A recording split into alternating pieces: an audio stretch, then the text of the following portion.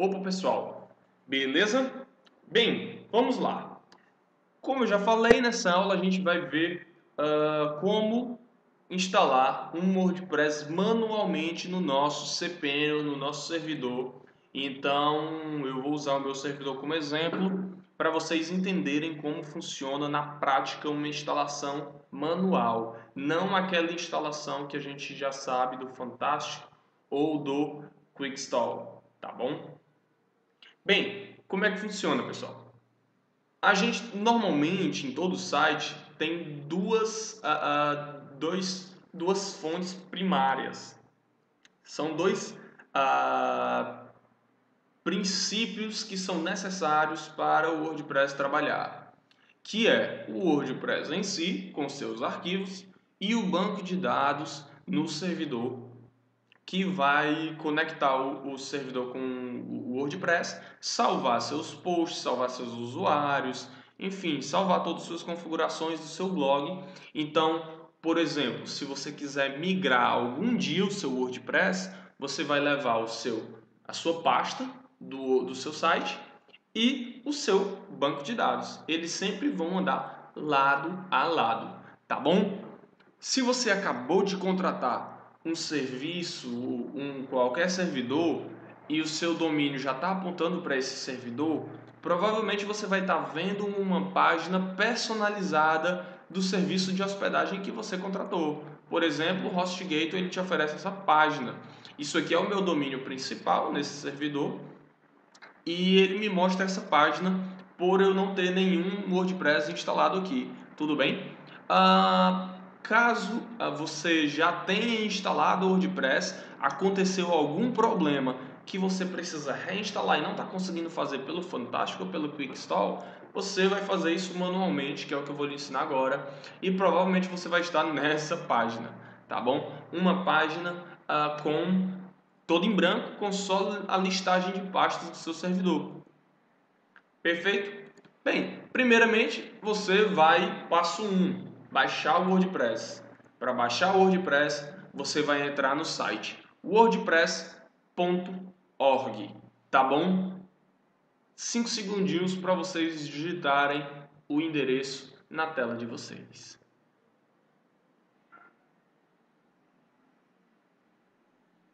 Bem, wordpress.org você vai estar acessando essa página e nessa página você vai ver que está tudo em inglês, correto? A gente vai aqui para o em português do Brasil, nesse link, eu vou voltar aqui porque eu fiz muito rápido. WordPress is also available in português do Brasil, also português espanhol, ok? Então você vai escolher um dos três itens, no nosso caso português do Brasil, vou clicar e ele vai me redirecionar para a página do português do wordpress.org Brasil que é que a gente vai fazer aqui? Uma simples coisa, baixar o WordPress. Essa é a única intenção dessa página. Que é nesse lindo botão azul, a gente vai clicar 6.8 MB.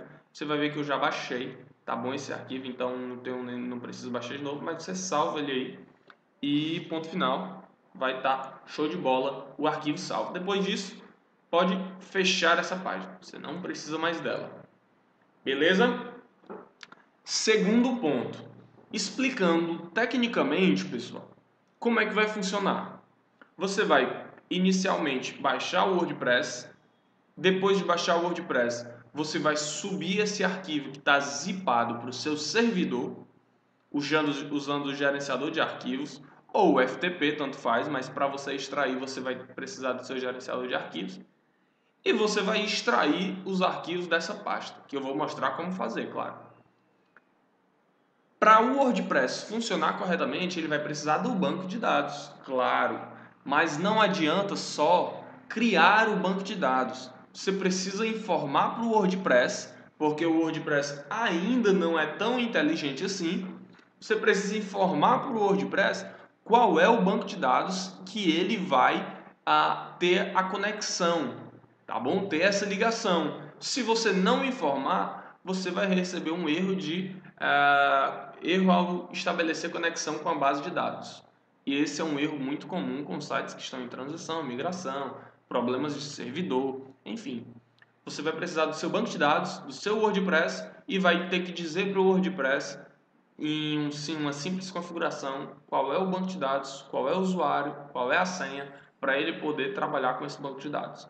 Vou mostrar para vocês como fazer passo a passo, então fiquem comigo. Vamos lá. Baixamos o WordPress. Vamos agora criar o nosso banco de dados. Procure no seu painel esse item, a assistente de banco de dados MySQL. Se estiver em inglês, você vai ser algo, você pode procurar pelo ícone, se você não souber inglês, né? É esse íconezinho com uma varinha mágica e MySQL escrito, tá bom? Uh, tem o banco de dados MySQL, tem um assistente. O assistente tem essa varinha. O assistente ele faz o processo mais rápido, mais fácil. Para quem uh, não, não quer gastar tanto tempo, tem menos conhecimento. A gente vai usá-lo uh, por ele ser bem mais rápido. Cliquei em cima e ele me trouxe para essa página. O que é essa página? A primeira página é para criar o banco de dados. Primeiro de tudo, vamos criar o banco de dados, vamos dar um nome para esse banco de dados. Eu vou colocar o nome dele de novo teste, tá bom? Mas eu recomendo, se o seu site não é só um teste, eu recomendo que você use algum nome muito uh, diferenciado com letras maiúsculas. Opa, com letras maiúsculas e minúsculas, tá bom? Entre elas, números, enfim, algo que não seja tão uh, certeiro, tão na cara. Beleza? Mas no meu é só novo teste. Após essa aula eu vou deletar esse banco de dados por segurança. Então eu vou deixar aí novo teste. Vou detalhe, novo teste é só um, uh, um nome do fim do meu banco de dados. O nome do banco de dados por completo vai ser Keta 753 underline novo teste, tá bom? Todos os meus bancos de dados vão ter esse prefixo, que é o prefixo do seu usuário do cPanel, sempre. Você pode perceber isso aí a acessando o seu banco de dados. Bem, cliquei em próximo passo. Ele vai me pedir para criar um usuário e uma senha para esse banco de dados mas inicialmente eu vou salvar, né, o nome do banco de dados, tá bom? Ele me avisou aqui, ó, added the database, adicionado a, o banco de dados. Aí ele me disse o nome do banco de dados, então eu vou copiar esse banco de dados, tá bom? O nome, ó. Eu vou até colocar aqui nome, tá bom? Nome de usuário, o nome de usuário que vai ter o acesso a esse banco de dados. Então eu vou colocar user test, tá bom? User só coube user test, mas tudo bem, user test. E vou clicar nesse botão aqui, ó, na parte de senha, gerador de senhas. Gerar uma senha. Vou copiar essa senha. Vou salvar essa senha. E clicar em usar senha. Se você não marcar aqui, ó, uh, não dá para clicar em usar senha. Então você tem que marcar essa opção de copiei esta senha. E, claro, você tem que copiar essa senha, né, para você não se esquecer. Usar senha, uma senha muito forte, você vai criar esse usuário. Ele vai te dar o nome de usuário, né? Não esqueça, pessoal. Nessa área, você vai copiar aqui ó, o nome do usuário, tá bom? Que você criou nome, usuário e o banco de dados. E ele vai te perguntar os privilégios que o usuário vai ter a esse banco de dados. Você vai marcar todos os privilégios. Só marcar essa página inicial aqui, não precisa de um por um, tá bom? Vai marcar todos os privilégios e clicar em próximo passo. Até agora, nada de programação avançada, nada demais. Simples passo a passo. E Tá feito, tá bom? Ele criou o banco de dados, tá aqui os meus dados do banco de dados do usuário da senha. E eu vou agora uh, ah, para a segunda fase, que é subir o meu WordPress e ligar o WordPress ao banco de dados. Perfeito? Vamos lá. Vou abrir o meu gerenciador de arquivo ou File Manager, se o seu ah, cPanel estiver em inglês, vai ser File Manager. Você vai clicar e vai acessar ao, uh, ao seu domínio principal. Ele vai me trazer já a pasta do meu domínio principal, tá bom? Então a sua pasta vai depender muito do domínio que você está trabalhando. Se você estiver trabalhando o domínio principal do seu servidor, a sua pasta vai ser a public underline HTML obrigatoriamente, tá bom? Não tem uma exceção aí nessa, nessa questão. Quando você contrata um servidor e diz que o domínio do servidor vai ser é, domínio.com.br, esse site, essa instalação vai ter que estar na pasta public underline HTML. Então, por exemplo, o que eu fiz aqui, o que eu vou fazer para instalar esse meu WordPress, você vai, vocês vão fazer para instalar, só que ao invés de estar nessa pasta aqui, ó, na minha, public underline HTML barra novo teste, a de vocês vai estar nessa, public underline HTML. Tá bom? Então vai ser naquela pasta lá. Vocês vão seguir o mesmo processo. O que é que vocês vão fazer aqui? Primeiro, upload do do do, do WordPress. Desculpa, né? Deu um bug mental aqui. Mas a primeira coisa que vocês vão fazer é o upload do WordPress. Vocês vão clicar nesse botão, fazer upload. O meu está em português. Se o de vocês estiver em inglês, ah, vai ser upload file, tá bom? Então cliquem e vocês vão estar numa tela parecida com essa. Perfeito? Vocês vão clicar em escolher arquivo e quando vocês clicarem em escolher arquivo, vocês vão procurar o arquivo que vocês baixaram, .zip. Quando vocês selecionarem esse arquivo, ele vai começar a enviar esse arquivo para o seu servidor automaticamente. Você não precisa clicar em nenhum botão enviar, nem nada. Basta selecionar o arquivo e ele já inicia o envio para a sua pasta.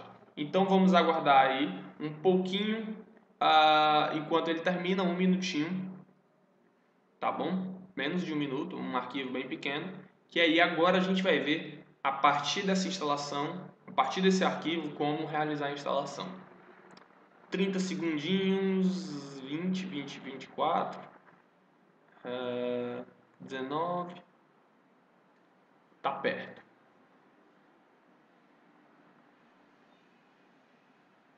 deveria colocar uma música, né, para rolar, mas foi tão rápido que não não seria nem necessário. Beleza, terminou o meu upload. O que é que eu vou fazer? Voltar para a minha pasta. Basta clicar nesse botão aqui, ó, tá bom? Voltar para a minha pasta. Então ele vai atualizar a minha pasta. Você já vai ver aqui o zip nessa pasta. O que, é que a gente precisa fazer agora? Extrair os arquivos dessa pasta no nosso servidor clique no arquivo e clique em extrair, tá bom? Vou clicar, ele vai te perguntar qual é o caminho. Repetindo, se você está trabalhando com o seu domínio principal, você vai extrair para public HTML, mas eu estou trabalhando com um domínio secundário, eu vou, eu vou extrair para public HTML barra novo teste. Vou clicar em Extract Files. Já extraiu bem rápido você pode ver que depois de extrair, eu clicar no botão OK, ele não aparece nada. Para isso, você vai ter que clicar em Reload ou recarregar aí, tá bom? Refresh, eu acho, alguma coisa do tipo. E o que é que a gente tem aqui? A gente tem o arquivo cgi.bin, que é gerado automaticamente, uma pasta chamada WordPress e um arquivo chamado WordPress, que é o zip que a gente subiu. Os arquivos que a gente tirou do zip estão dentro dessa pasta WordPress. Isso aqui é o que o Fantástico instalar automaticamente, tá bom? Porém, a gente não quer que esses arquivos estejam dentro dessa pasta WordPress. Nós queremos que esses arquivos estejam na novo teste. Então, o que é que nós iremos fazer? Quando você chegar nesse momento, você vai entrar nessa pasta WordPress. Você vai visualizar todos os arquivos do WordPress. Do WordPress você vai clicar no botão selecionar todos, tá bom? E vai clicar mover arquivo aqui no topo do canto esquerdo. Mover arquivos. Quando você clicar, ele vai te perguntar o diretório que você quer mover. E o diretório que ele já diz para mover é o mesmo diretório que ele está. Então não faz sentido, tá bom? Se você quer mover, você quer mover para algum lugar diferente. Então nós vamos apagar esse WordPress e vamos deixar só o barra teste, que é onde a gente quer. Você pode deixar com ou sem a barra, tá bom? E eu vou clicar em Move Files. Detalhe, mais uma vez, se você está instalando no seu domínio base, você vai ter a pasta WordPress, seria mais ou menos assim, ó, WordPress, e o que você teria que fazer para extrair os arquivos era tirar esse WordPress. Então ele iria mover todos os arquivos do WordPress para a pasta inicial, tá bom? A nossa inicialmente aqui vai ser novo teste. Beleza, moveu, eu vou voltar para a pasta, eu sempre clico subir um nível, né, para voltar para um nível acima e continuo aqui com essa pasta WordPress vazia, que agora eu vou excluir, não tem mais a necessidade e esse arquivo zip eu vou excluir também, só é peso no servidor, então não tem nada de interessante. Beleza? Vamos lá. Vocês viram no início que eu, dessa aula que eu estava falando que essa página estava nesse modelo, né? Novo teste, estava é, aberta, estava em branco. E agora eu vou atualizar para vocês ver, para vocês poderem ver o que é que está aparecendo. Vocês podem ver que já está aparecendo aí tela do WordPress, ou seja, o WordPress é reconhecido. Mas o que é que ele está me pedindo agora? Informações do banco de dados, dos bancos de dados, do banco de dados, né? Então, são aquelas informações que nós criamos anteriormente, tá bom? Vamos lá, como ele chama, né? Vamos lá. Vamos configurar nosso WordPress. O nome do banco de dados. Qual é o nome do banco de dados, pessoal? Foi o nome que a gente criou, né? Inicialmente. Então, eu vou copiar aqui, colar. Perfeito?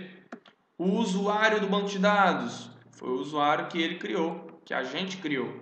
Então, eu vou colar a senha desse usuário. Foi a senha que a gente criou, então eu vou colar. E o servidor deixaremos localhost. Se você estiver usando uma hospedagem diferenciada, se não for HostGate, se não for cPanel, se for alguma hospedagem estilo uh, Media Temple, você vai ter outra configuração aí do, uh, do servidor do banco de dados, tá bom? Então, o meu Media Temple, eu tenho um servidor no Media Temple, então lá eu tive que fazer outra configuração, não é localhost, é uma configuração diferente, mas 90% dos casos irão ser localhost. E ele nos pergunta, por fim, o prefixo da tabela que nós queremos para inserir nesse banco de dados. Eu sempre mudo, WPL padrão, eu sempre mudo aqui. Eu vou colocar NT underline, sempre precisa, é, é sempre interessante aí, coloque esse underline, coloque um nome, duas letras, três letras, quatro letras, e o underline porque é o prefixo, tá bom? Bem, feito isso, sem erro, vamos clicar em enviar. Quando a gente clicar em enviar, você vai ver que ele já criou o WordPress. Muito bem, você concluiu esta parte da instalação. Agora o WordPress pode se comunicar com seu banco de dados. Se você estiver pronto, é hora de instalar e ele vai instalar o nosso WordPress, tá bom? Nos perguntando o que? Aquelas mesmas informações que haviam lá no Fantástico. O título do site, eu vou colocar novo teste, nome de usuário, eu vou colocar novo teste, senha, eu vou colocar uma senha, eu vou colocar a senha aqui do meu banco de dados, né? Para não ter muito, muita dificuldade. Você escolhe a sua senha, isso aqui já é do WordPress, tá pessoal? É o seu usuário e senha do WordPress, então não tem mais nada a ver com banco de dados. Já passou essa parte do banco de dados, já esqueça isso. E eu vou colocar aqui o meu endereço. Beleza? Privacidade, permitir que os mecanismos de buscas uh, indexarem, sim, permita e instala. Sucesso. Deu sucesso a instalação. Vamos fazer o login na nossa área de usuário então eu vou fazer o login aqui com o meu usuário e a senha que eu acabei de colocar na tela anterior. Você vai ver que está o seu WordPress instalado perfeitamente funcionando. Tá bom, pessoal? Então, para quem teve algum problema na instalação com o Fantástico ou quem quer instalar manual, quem não sabe, quem está com problemas, enfim, isso aí funciona para qualquer tipo. Uh, talvez eu tenha estendido muito, uh, talvez eu tenha me estendido um pouco né, na explicação, mas como eu gosto de explicar detalhadamente para vocês entenderem tecnicamente como é que as coisas funcionam, eu sempre faço os vídeos bem compridos, tá bom? Isso é bom para vocês, é mais conhecimento, isso é bom para mim, porque vocês ganham um conhecimento que eu não vou precisar estar ali sempre dizendo, olha, é por causa disso, olha, é por causa daquilo. Não. Em uma videoaula só eu lhe expliquei WordPress, como instalá-lo, o que é a conexão do banco de dados, como é que ele se comunica, como criar um banco de dados novo. Então, se você quiser criar 20 WordPress novos, você vai saber criar 20 bancos de dados novos, mesmo passando por problemas. Tá entendendo? Então, eu gosto de seguir essa sequência para você não ter que voltar ou procurar em outro canto outra aula. Aqui é sua aula definitiva. Esse é o seu curso definitivo. Este é o Expert WordPress. Grande abraço, pessoal. Até a próxima.